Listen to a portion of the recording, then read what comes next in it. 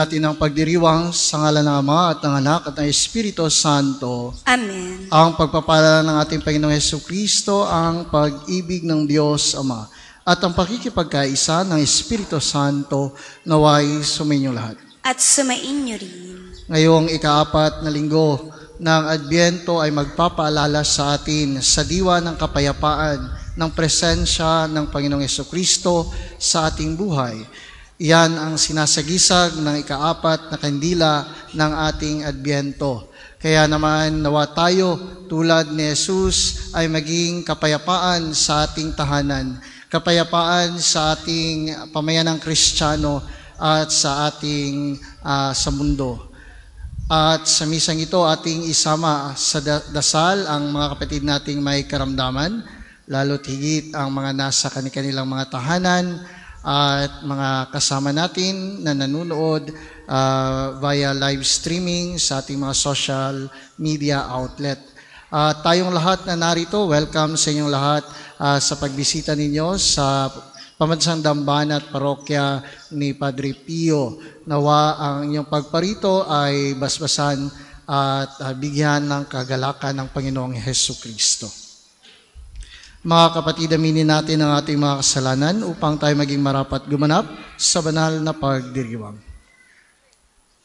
Inaamin ko sa makapangyarihang Diyos Diyos at sa inyo mga kapatid na lubha akong nagkasala sa isip, sa salita at sa gawa at sa aking pagkukulang.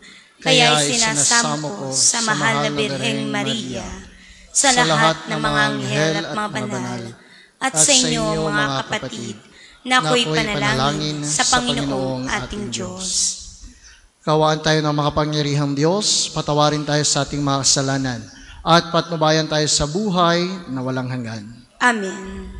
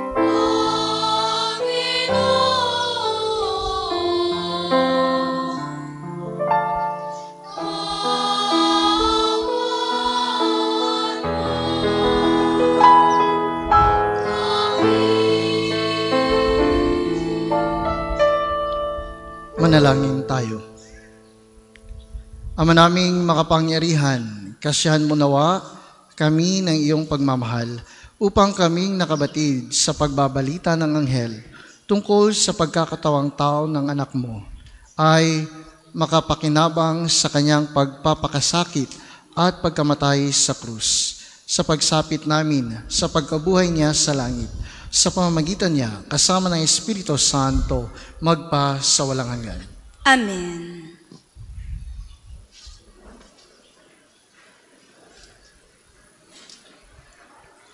Pagbasa mula sa ikalawang aklat ni Samuel. Si David ay panatag ng nakatira sa kanyang bahay. Sa tulong ng Panginoon, hindi na siya ginambala ng kanyang mga kaaway.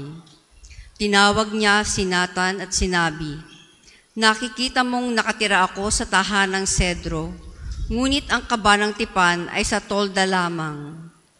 Sumagot si Nathan, Isagawa mo ang iyong iniisip sapagkat ang Panginoon ay sumasa iyo.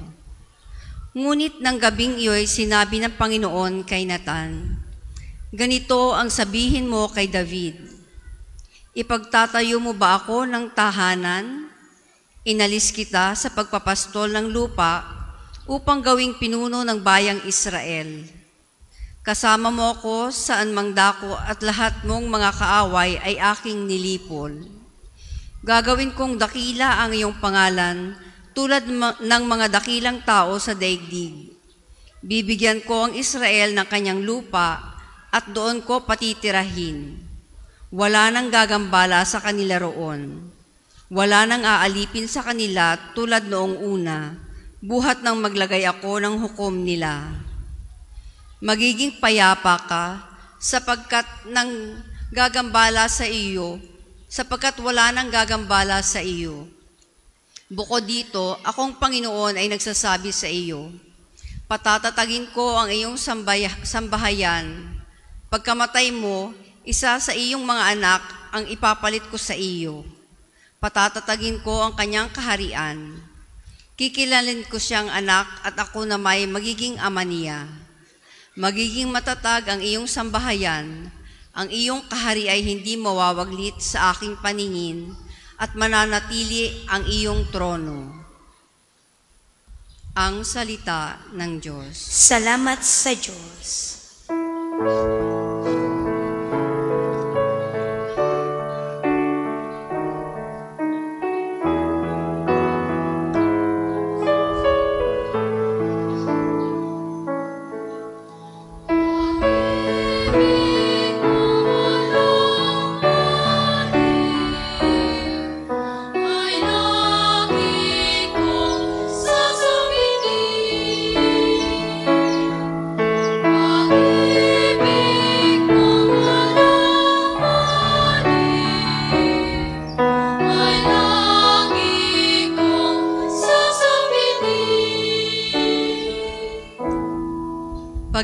mo poon na di nagmamaliw, ang sa tuwi-tuwi na'y aking aawitin.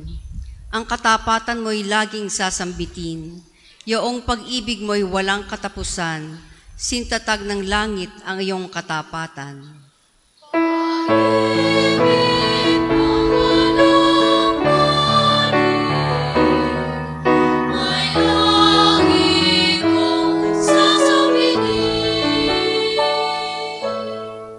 Sabi mo poon, ikaw ay may tipan, na iyong ginawa kay David mong hirang. At ito ang iyong ipangakong ini- at ito ang iyong pangakong iniwan. Isa sa lahi mo'y laging maghahari, ang kaharian mo ay mamamalagi.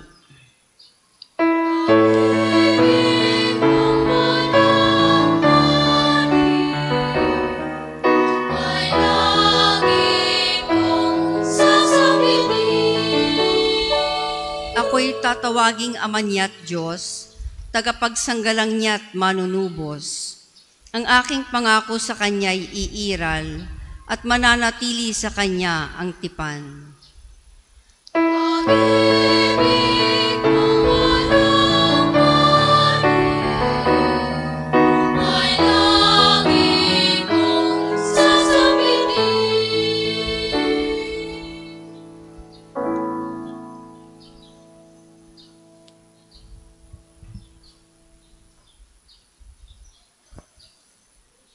Pagbasa mula sa sulat ni Apostol San Pablo sa mga taga-Roma. Mga kapatid, purihin ang Diyos na makapagpapatibay sa inyo sa pamamagitan ng mabuting balita tungkol kay Heso Kristo na ipinapangaral ko sa inyo. Ang mabuting balitang iyan ay isang hiwaga na nalihim sa loob ng mahabang panahon at sa utos sa walang hanggang Diyos ay nahayag ngayon sa mga hintil upang sila'y manalig at tumalima kay Kristo. Ang lahat ng iyan ay ayon sa mga sulat ng mga propeta. Sa iisang Diyos, ang marunong sa lahat, sa Kanya iukol ang papuri magpakailanman sa pamamagitan ni Heso Kristo Amen. Ang Salita ng Diyos. Salamat sa Diyos. Ang lahat po'y magsitayo.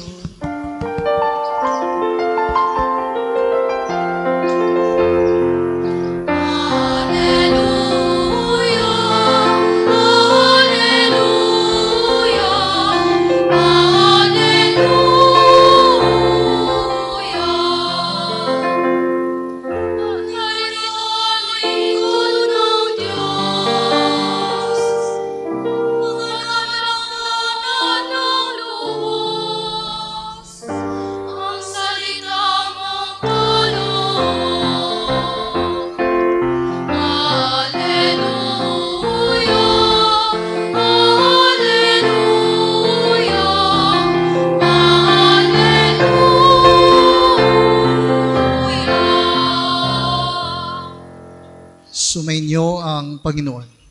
Sumayin niyo rin. At ang mabuting balita ng Panginoon ayon kay San Lucas. Papuri sa iyo, Panginoon.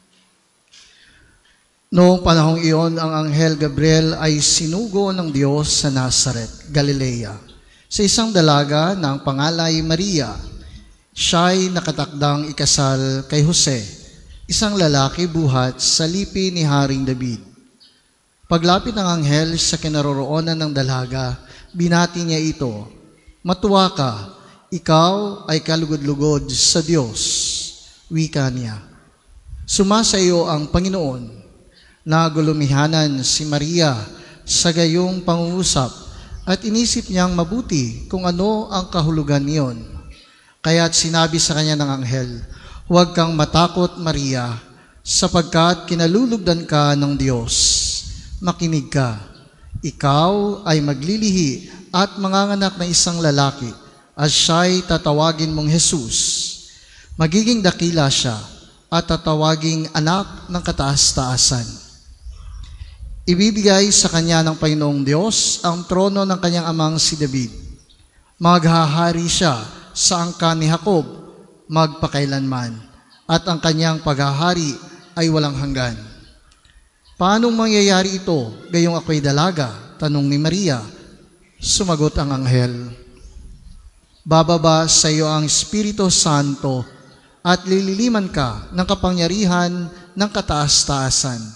Kaya't banal ang ipanganganak mo at tatawaging anak ng Diyos. Natatandaan mo ba ang iyong kamag-anak na si Elizabeth? Alam ng lahat na siya'y baog, ngunit naglihi siya sa kabila ng kanyang katandaan at ngayon ika-anim na buwan na ng kanyang pagdadalang tao sapagkat walang hindi mapangyayari ang Diyos. Sumagot si Maria, Ako'y alipin ng Panginoon, mangyari sa akin ang iyong sinasabi. At nilisan siya ng anghel.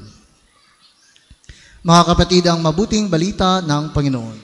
Pinupuri ka namin, Panginoong Heso Kristo.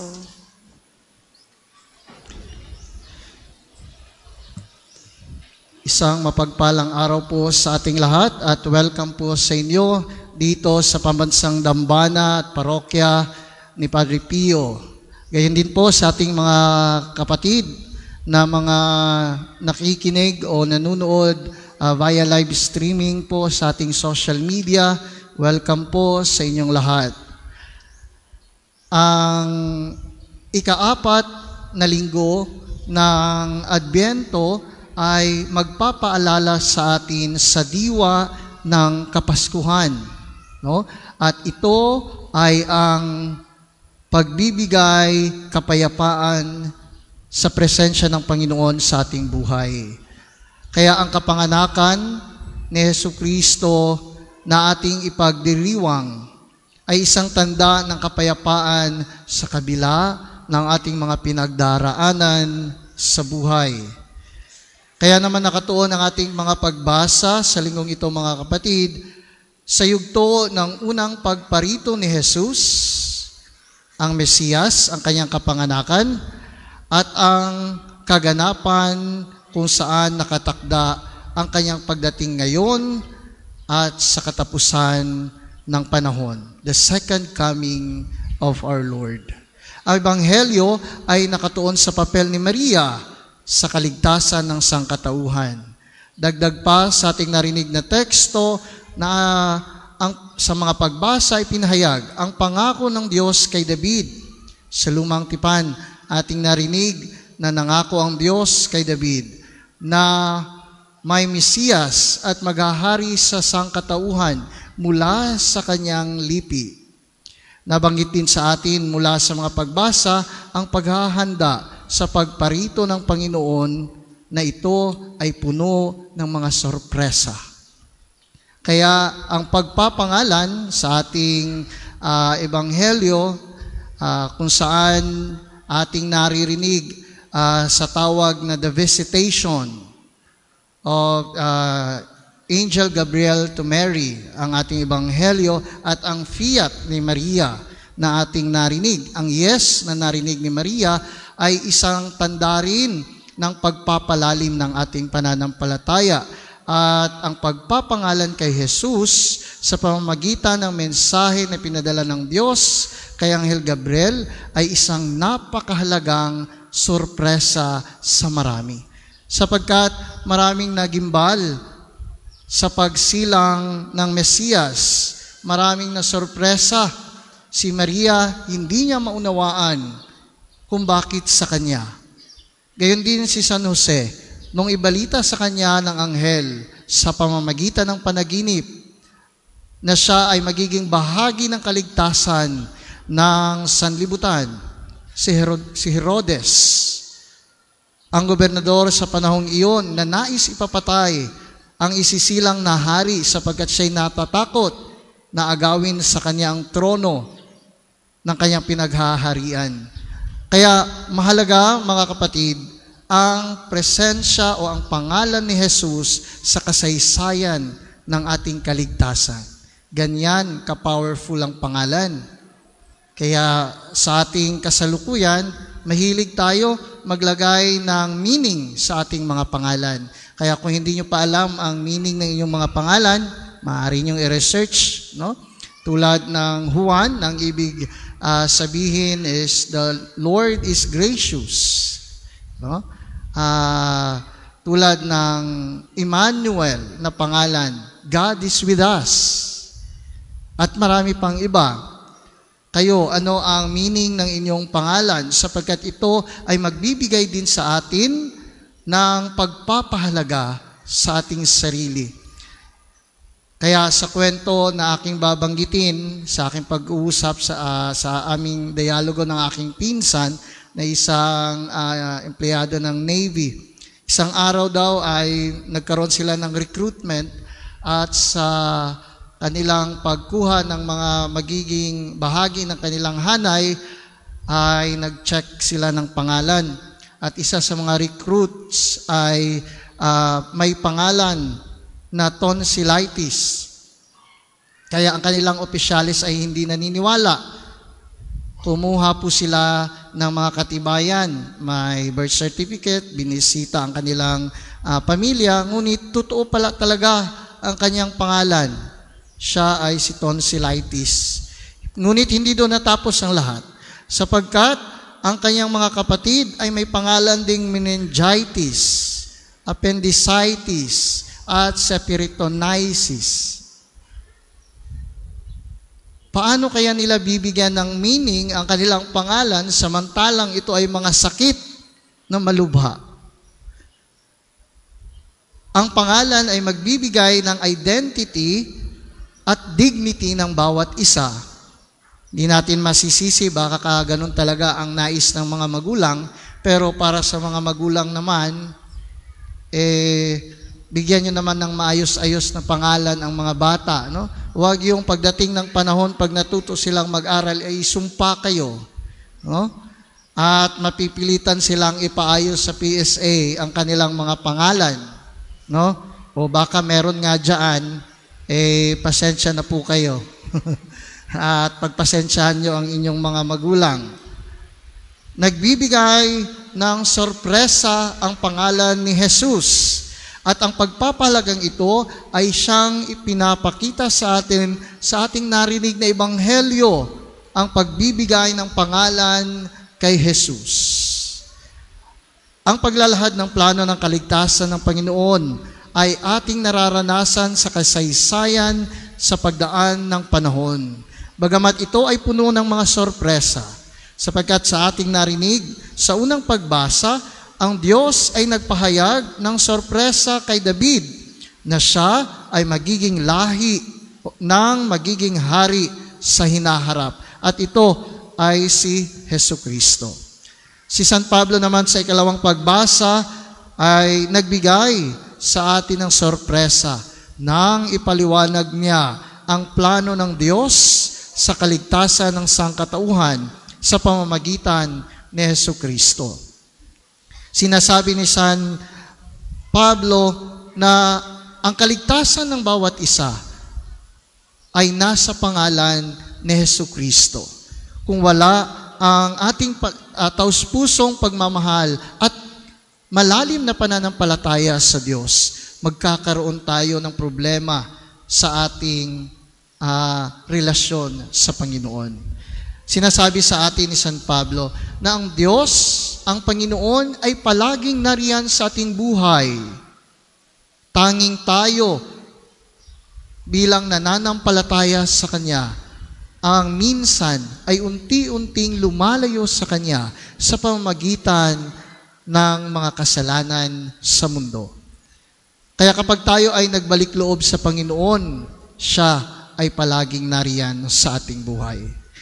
Ang napakagandang kwento ng ating, na ating narinig sa Ebanghelyo mula kay San Lucas, ito ay isang kwento ng pagtitiwala at pagpapaubaya sa Panginoon. Narinig natin ang sorpresa ng Anghel Gabriel kay Maria at ito ay mayroong pitong pagpapahayag sa kanya. Una, kahit siya ay dalaga at nakatakdang ipakasal kay Jose, siya ay naging ina at tinanggap niya ito. Batid natin na sa kalagayan ni Maria, napakahirap ang magdalang tao na walang ama ang bata o walang asawa sapagkat sa kapanahunan nila, ang babaeng na buntis o nagdalang taong walang asawa ay ito ay isang uri ng pangangalunya at kailangan siyang patayin. Batid ni Maria na ito ang kahinatnan niya kapag nalaman ito ng matatanda ng bayan. Ngunit sa pangako ng Anghel Gabriel na siya ay hindi pa babayaan at huwag matakot, lakas loob niyang tinanggap ang biyayang ito. Sana tayo rin matuto tayong tumanggap sa biyaya ng Diyos kahit minsan hindi natin nauunawaan ang nais ng Panginoon sapagkat may plano ang Panginoon sa ating buhay na minsan hindi natin nakikita sa unang sulyap. Pangalawa, siya ay magiging ina, lalang ng Espiritu Santo na mananahan sa Kanya at ang kapangyarihan ng poong may kapal ay lulukob sa Kanya. Ito ang pagpapaubaya ni Maria sa kapangyarihan ng Diyos. Kaya tayo, ang pagpapaubaya natin sa Panginoon, lalo tigit kapag tayo ay mayroong kahilingan o mayroong karamdaman na nais ihingi ng tulong sa Panginoon, hilingin natin ng may pagpapaubaya ng sarili. Minsan sinasabi sa atin, wala na tayong pag-asa. Yan na talaga. Ngunit dahil sa ating taimtim at malalim na pananampalataya at pagpapaubaya sa Diyos, minsan ang Diyos ay nagbibigay ng sorpresa sa ating buhay. Sabi ng anghel, ang sanggol na iyong ipanganganak ay tatawaging banal at anak ng Diyos. Ikaapat, pangalanan niya itong papangalanan niya itong Jesus nang ibig sabihin ay tagapagligtas sapagkat wala kanino man ang kaligtasan ng ating buhay kundi sa pangalan ni Jesus. Ang Diyos ay magtatalaga sa kanya bilang hari na mula sa lipi ni Haring David. Ang pagiging hari ng Diyos ay hindi sa makalupa at makamundo lamang. Siya ay hari ng parehong langit at ng lupa. Kaya siya ay nasa atin at sumas sa atin sa lahat ng pagkakataon. Siya ay maghahari sa tahanan ni Jacob magpakailanman at ang kanyang kaharian ay kailanman ay walang katapusan. at bilang tanda ng kabanalan ng Diyos at kapangyarihan ng Panginoon. Si Elizabeth, ang pinsan ni Mariang matanda na at sinabi sa atin na baog na nagdalang tao, sabi ng anghel, walang hindi mapangyayari ang Diyos. For nothing shall be impossible with God. Maniwala at manampalataya tayo sa Panginoon. Lalo na ngayong Kapaskuhan, ang ating pag-ibig sa Kanya ay ipadama sa ating kapwa sapagkat anuman ang meron tayo na ating naibabahagi sa Diyos ay tiyak gagantimpalaan ng Panginoon, lalo't higit kung ito ay ating iniaalay sa Kanya ng buong puso. Ang ating ebanghelyo ngayon mga kapatid ay nagpahayag din ng sorpresa sa atin sa pamamagitan ng paalala na ang pangako ng Diyos ay maisa sa katuparan sa atin, hindi sa pagtatayo ng magagara at batong kaharian o maging isang magiting na hari tulad ni Solomon, ngunit sa pamagitan ng isang payak at mapagkumbabang kaluluwa tulad ni Maria. Ibig sabihin, tayong lahat ay tinawag ng Diyos kahit sino pa tayo at kahit ano pa tayo sa mundong ibabaw na ito. Walang piniling mayaman at mahirap na sila lamang. Lahat ay pinili ng Diyos. Ibig sabihin, kapag tayo sumunod sa kalooban ng Diyos, ang kanyang kaharian, ang kanyang kaligtasan ay para sa lahat at para sa ating lahat. We need to say a courageous and generous yes to God like Mary. And we need to try to learn God's plan for our lives sapagkat may mga plano ang Diyos na minsan hindi natin alam. May plano tayong hindi natutupad sapagkat hindi ito ang kalooban ng Panginoon sa atin. Yakapin natin tulad ni Maria ang biyaya ng Diyos sa pagparito ng ating Panginoong Heso Kristo. Harinawa. Ang lahat po'y magsitayo.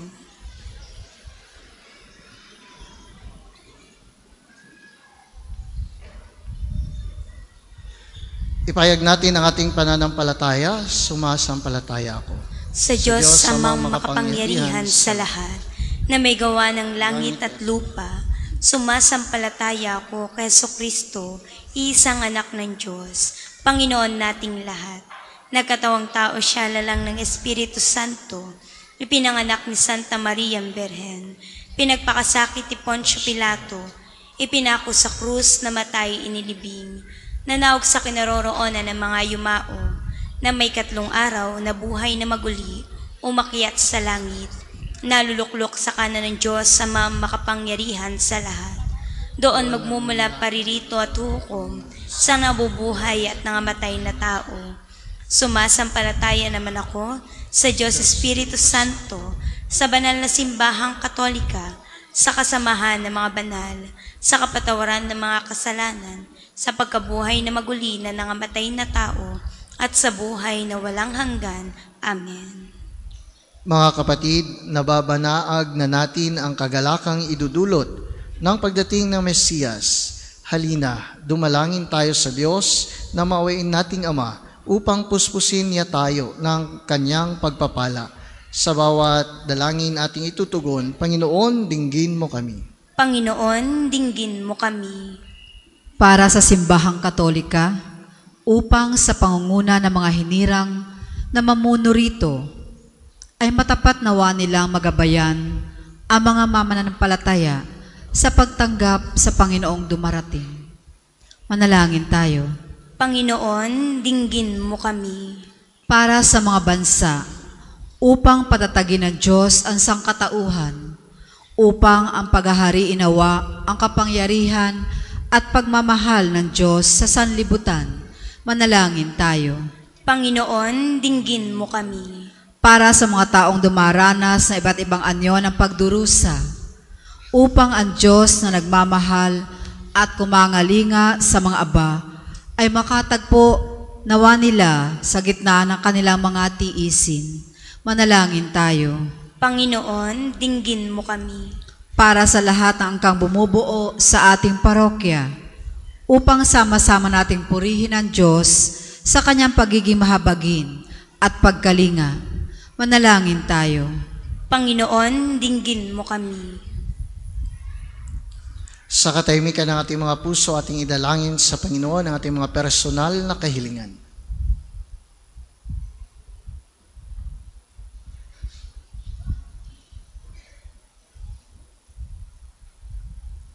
Manalangin tayo sa Panginoon. Panginoon, dinggin mo kami.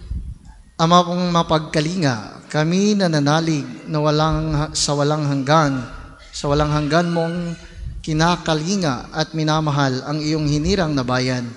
Ang iyong pagpapala at mga biyaya ay iyong pasaganahin sa aming sambayanan sa pamamagitan ni Heso Kristo ang aming Panginoon. Amen. Ang lahat po ay magsiupo. Para sa mga maghahandog na sobre, pakihulog na lamang po sa buslo. Pagdating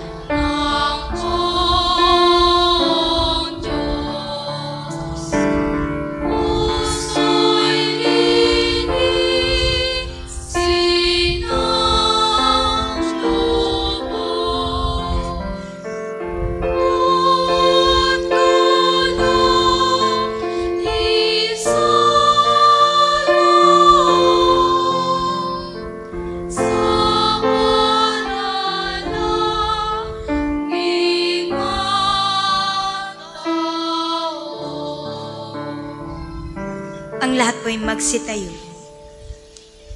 Manalangin kayo mga kapatid upang ang paghahain natin ay kalugdan ng Diyos amang makapangyarihan.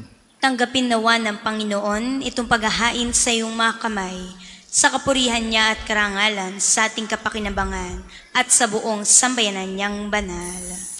Ama naming lumikha ang mga alay naming nakahain sa iyong dambana ay pabanalinawa ng paglukob ng banal na Espiritu na pumuspos sa sinapupunan ng mahal na Berheng Maria upang magdalang tao at magsilang sa iyong anak na siyang namamagitan magpa sa walang hanggan. Amen. Sumainyo ang Panginoon. At sumainyo rin. Itaas sa Diyos ang inyong puso at diwa. Itinas na namin sa Panginoon. Pasalamatan natin ang Panginoong ating Diyos. Marapat na siya ay pasalamatan. Ama naming makapangyarihan, tunay ngang marapat na ikaw ay aming pasalamatan sa pamamagitan ni Yesu Kristo na aming Panginoon.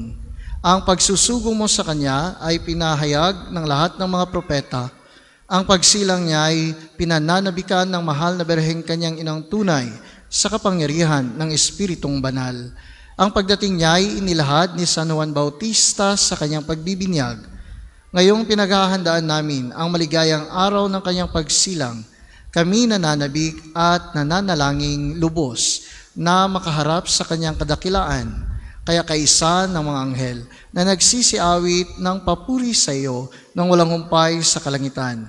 Kami nagbubunyi sa iyong kadakilaan.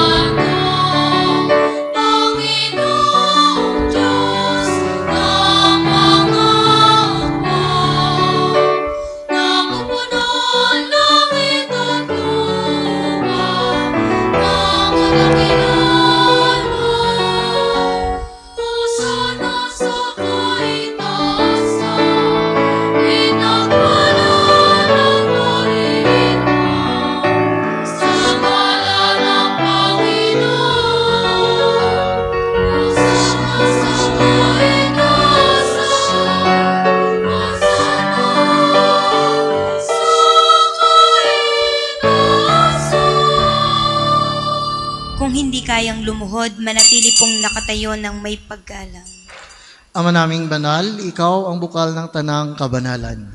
Kaya sa pamamagitan ng iyong Espiritu gawin mong banal ang kaloob na ito upang para sa amin maging katawan at dugo ng aming Panginoong Heso Kristo.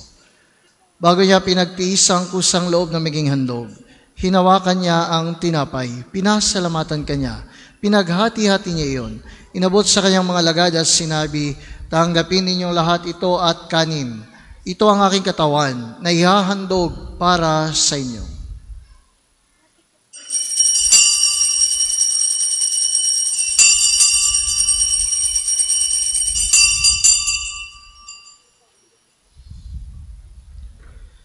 Gayon din naman nung matapos ang hapunan, hinawakan niya ang kalis. Muli kanyang pinasalamatan. Inabot niya ang kalis sa kanyang mga alagad at sinabi, Tanggapin ninyong lahat ito at inumin. Ito ang kalis ng aking dugo, ng bago at walang hanggang tipan. Ang aking dugo na ibubuhos para sa inyo at para sa lahat, sa kapagpapatawad ng mga kasalanan. Gawin ninyo ito sa pag-alala sa akin.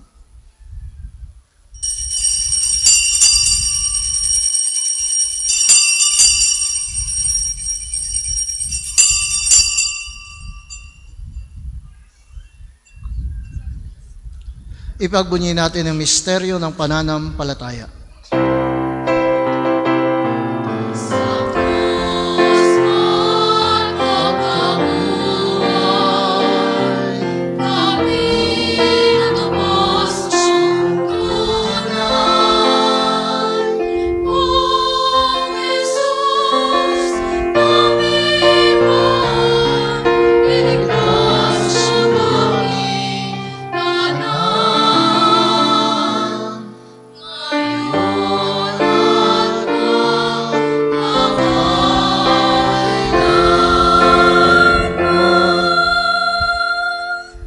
Ama, ginagawa namin ngayon ang pag-alala sa pagkamatay at muling pagkabuhay ng iyong anak. Kaya't iniaalay namin sa iyo ang tinapay na nagbibigay buhay at ang kalis na nagkakaloob ng kaligtasan. Kami nagpapasalamat dahil kami iyong minarapat na tumayo sa harap mo para maglingkod sa iyo.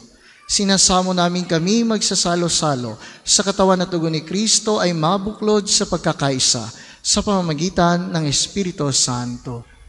Ama, lingapin mo yung simbahang laganap sa buong daigdig. Puspusin mo kami sa pag-ibig. Kaysa ni Francisco naming Santo Papa at ni Gilbert naming Obispo at ng Tanang Kaparian. Alalahanin mo rin ang mga kapatid naming nahimlay nang may pag-asang sila'y muling mabubuhay. Gayon din ang lahat ng mga pumanaw. Kawaan mo sila at patuloyin sa iyong kaliwanagan. Kawaan mo at pagindapatin kaming lahat na makasalo sa iyong buhay na walang wakas. Kaysa ng mahal na Berheng Maria na ina ng Diyos, ni San Jose na kanyang kalinis-linisang esposo, kaysa ng mga apostol at ng lahat ng mga banal na namuhay dito sa digdig ng kalugod-lugod sa iyo. May pagdiwang nawa namin ang pagpupuri sa ikararangal mo sa pamamagitan ng iyong anak na aming Panginoong Heso Kristo sa pamamagitan ni Kristo, kasama niya sa Kanya, ang lahat ng parangal at papuri ay sa iyo. Diyos amang makapangyarihan, kasama na Espiritu Santo, magpa sa walang hanggan.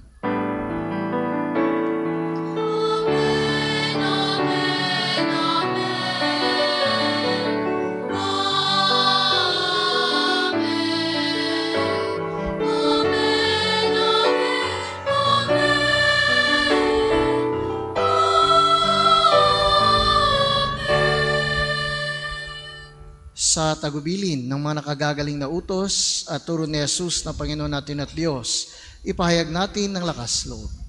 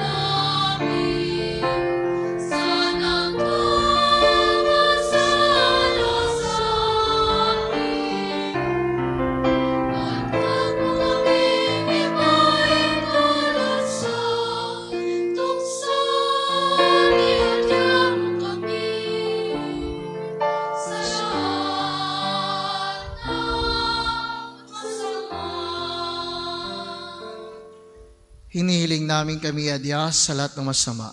Pagkalooban ng kapayapaan araw-araw, iligtas sa kasalanan at ilayo sa lahat ng kapahamakan, samantalang aming pinananabikan ang dakilang araw ng pagpapahayag ng tagapagligtas naming si Yesu Kristo.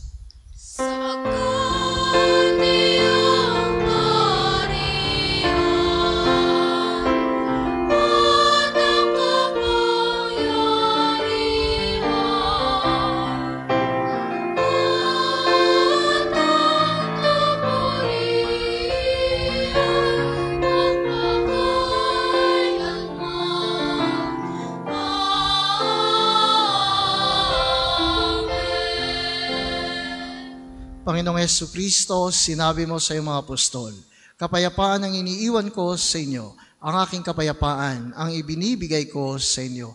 Tungayan mo ang aming pananampalataya at huwag ang aming mga pagkakasala.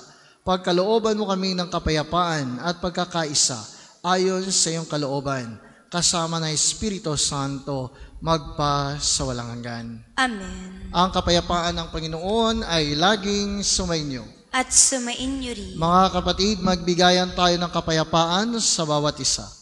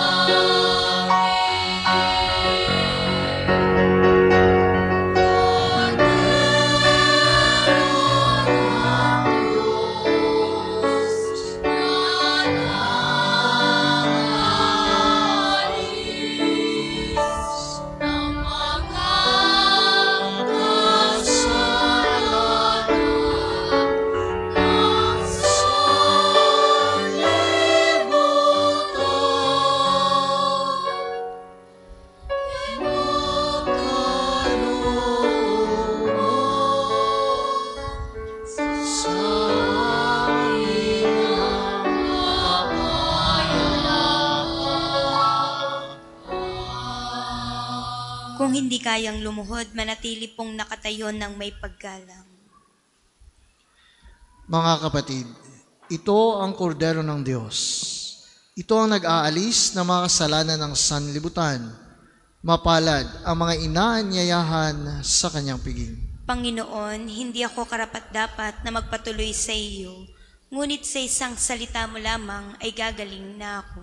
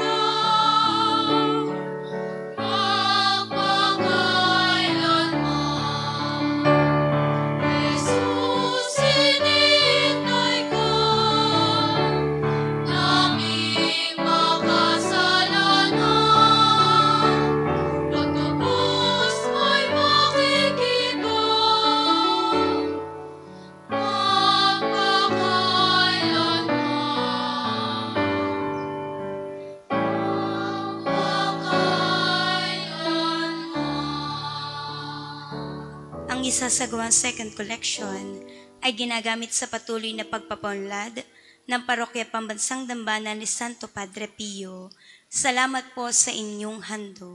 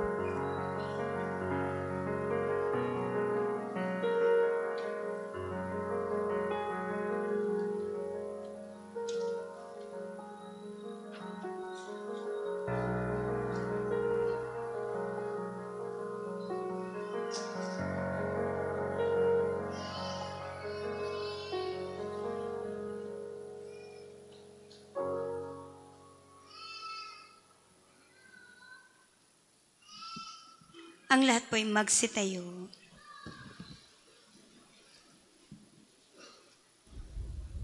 Manalangin tayo. Ama naming mapagmahal, amin nang pinagsaluhan ang piging na nagbibigay buhay habang papalapit ang dakilang kapistahan ng Pasko. Lalo nawa kaming makinabang ng may pananabik sa pagiging marapat sa pagdiriwang sa pagsilang ng anak mo na siyang namamagitan magpa sa walang hanggan. Amen. Panalangin ng pagtitiwala kay Santo Padre Pio, tayo pong lahat. Padre Pio, taga Pietrelcina, Mongheng Banal, pintakasing santo ng milenyong kasalukuyan, gabay namin sa pagtahak sa landasing makalangit, takbuhan sa pangangailangan, huwaran ng pagtitiis. Sa iyo namin inilalapit aming mga kagipitan, sa iyo po ibinibilin kalusugan at kabuhayan.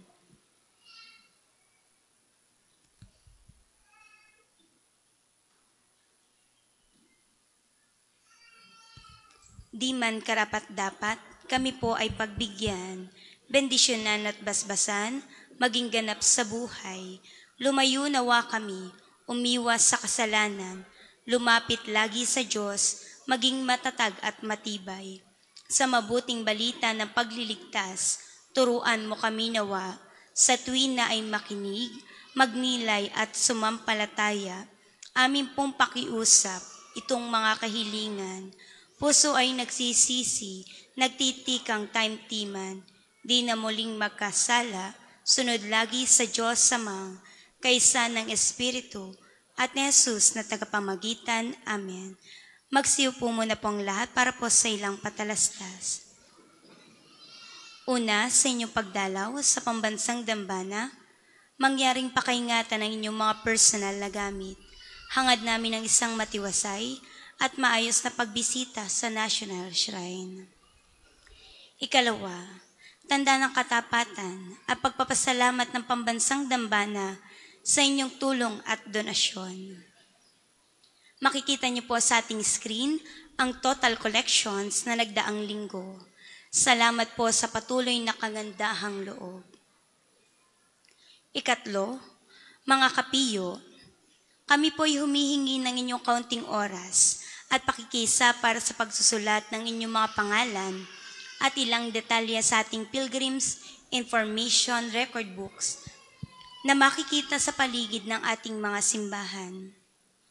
Ito po ay bahagi ng documentation program para sa pagpapalawig ng mga datos at turismong pangsimbahan at bilang alaala din ng inyong pagbisita sa pambansang dambana. Para po sa ating mga balikbayan, OFW, at mga kasama niyong foreigners, doon po kayo magsusulat sa International Pilgrims Record Book. Gagabayan po kayo ng ating mga tagapaglingkod. Ikaapat, para po sa mga gawain sa pagdiriwang ng Pasko ng pagsilang ng Panginoon. Mangyaring magabayan tayo ng mga sumusunod. Mamaya sa ikaapat ng hapon, ang misa ng bisperas.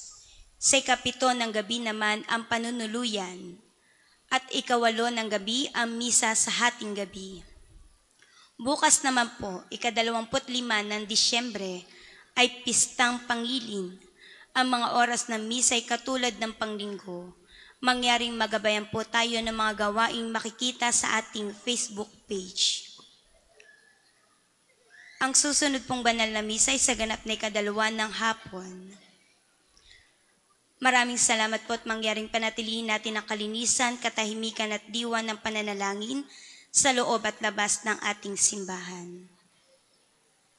Sa diwa ng kagalakan ngayong darating na Kapaskuhan, hahandugan po tayo ng mga pamaskong awitin ng mga seminarista mula sa Archdiocese ng Lipa, ang St. Francis de Sales Major Seminary.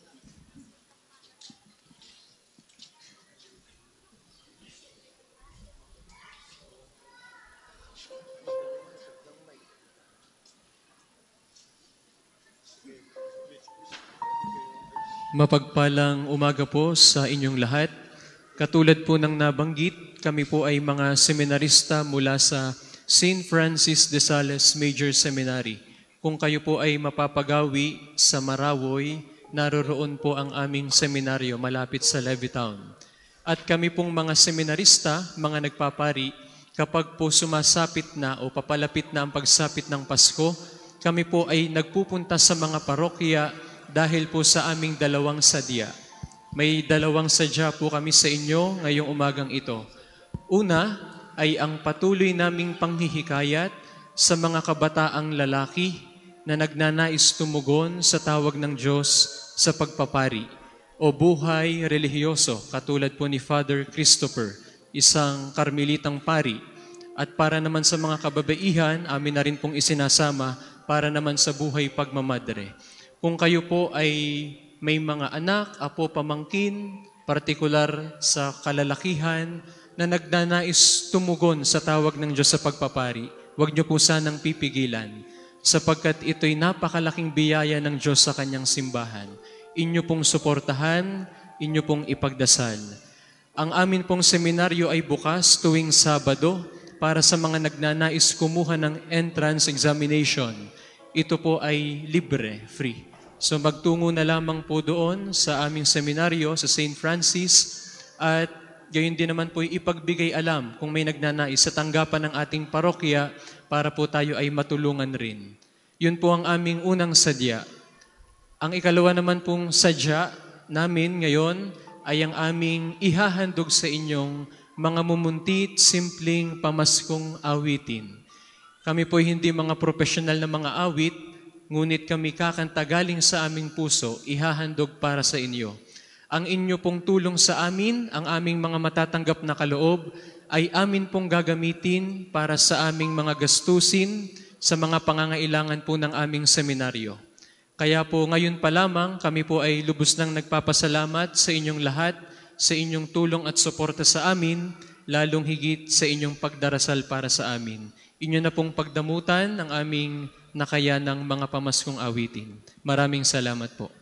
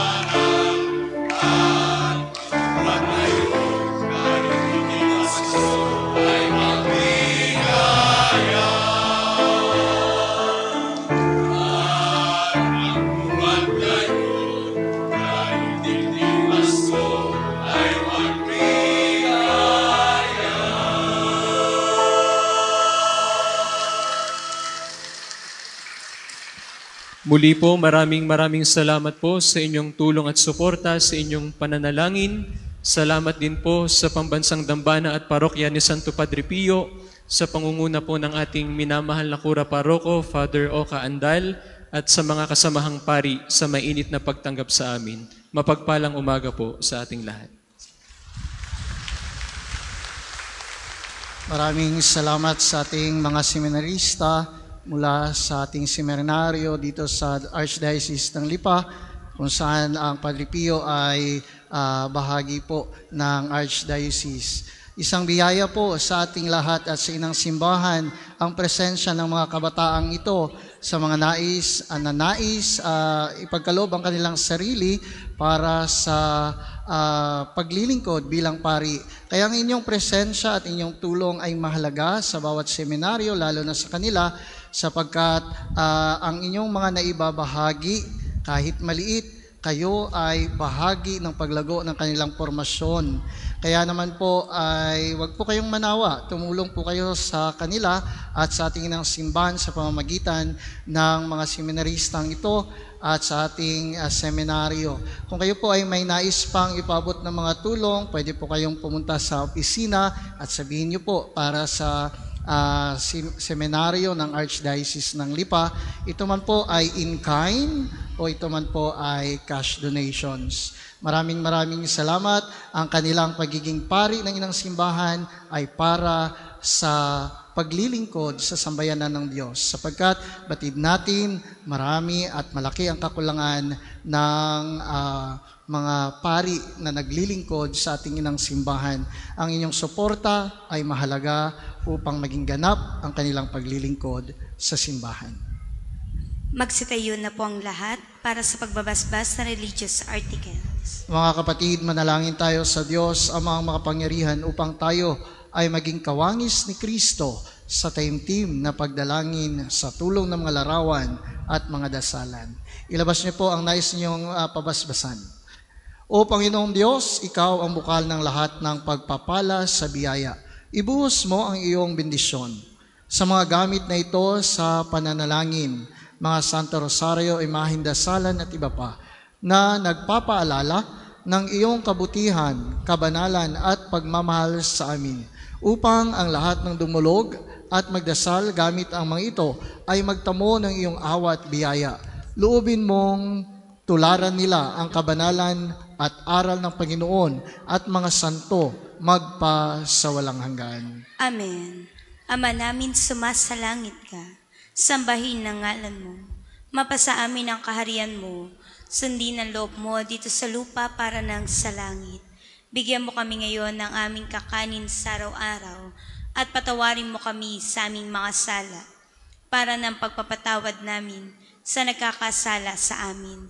At huwag mo kaming ipaintulot sa tukso at iadya mo kami sa lahat na masama. Amen. Aba, Ginoong Maria, napupuno ka ng grasya. Ang Panginoong Diyos ay sumasa iyo. Bukod kang pinagpala sa babaing lahat, at pinagpala naman ng iyong anak na Jesus. Santa Maria, Ina ng Diyos, panalangin mo kaming makasalanan, ngayon at kung kami mamamatay. Amen. Luwalhati sama sa anak at sa Espiritu Santo, kapara nung una, ngayon at magpasawalang hanggan. Amen. Ama namin, sumasalangit ka, sambahin ng ngalan mo, mapasa amin ang kaharian mo, sundin ang loob mo dito sa lupa para ng sa langit. Bigyan mo kami ngayon ng aming kakanin sa araw-araw, at patawarin mo kami sa aming mga sala, para ng pagpapatawad namin sa nagkakasala sa amin. At huwag mo kaming ipentulot sa tukso, at iadya mo kami sa lahat ng masama. Amen. Aba, Ginoong Maria, napupuno ka ng grasya. Ang Panginoong Diyos ay sumasa iyo. Bukod kang pinagpala sa babaing lahat, at pinagpala naman ng iyong anak na si Jesus. Santa Maria, Ina ng Diyos, panalangin mo kaming makasalanan, ngayon at kung kami mamamatay. Amen. Luwalhati sama sa anak at sa Espiritu Santo, kapara nung una, ngayon at magpasawalang hanggan. Amen. Ama namin sumasalangit ka, sambahin ang ngalan mo, mapasa amin ang kaharian mo, sundin ang loob mo dito sa lupa para ng sa langit. Bigyan mo kami ngayon ng aming kakanin sa araw-araw at patawarin mo kami sa aming mga sala para ng pagpatawad namin sa nagkakasala sa amin at huwag mo kaming ipahintulot sa tukso at edya mo kami sa lahat ng masama. Amen. Luwalhati sa Ama, sa Anak at sa Espiritu Santo, kapara nung una ngayon at magpasawalang hanggan. Amen. Bago ang huling pagbabasbas, maraming salamat po sa inyong pagbisita dito sa Pambansang Dambana at Parokya ni San, Pedro, ni San Pio, Padre Pio, at gayon din sa ah, mga nasa live streaming. Maraming salamat po sa inyo. Naway basbasan kayo ng Panginoon, ano man inyong mga lakad matapos kayo makabisita dito ng Panginoong Heso Kristo. Maraming salamat din po sa mga lahat ng mga naglingkod sa misang ito. Kung kayo man ay naghahanda sa inyong mga ah, biyahe, naway gabayan kayo ng Panginoon ah, sa inyong mga darating na mga ah, biyahe. Bukod po sa misa at misa mamayang gabing inyong dadaluhan para sa paghahanda o kapanganakan ng Panginoon. Bukas po, December 25, ay ah, holidays of obligation. So lahat ay inaanyayahan na magsimba sapagkat obligasyon ito ng lahat ng binyagang katoliko na magsimba. Mayroon po tayong tatlong holidays of obligation sa buong taon. Una, ang December 8, Immaculada Concepcion, ang December 25, ito naman po ang ah, Christmas Mass, at ang January 1, ang Motherhood of Mary. Kaya bukas, ah, bukod mamayang gabi, ay inaasahan ang lahat ng mabinyagang katoliko ay magsimba po. Sumainyo ang Panginoon. At sumain niyo rin. At pagpalain kayo ng mga pangyarihang Diyos sa ngalan ng Ama at ng Anak at ng Espiritu Santo. Amen. Tapos na ang ating banal na misa, humayo kayong taglay ang pag-ibig ni Kristo. Salamat sa Diyos. Magandang araw po sa lahat.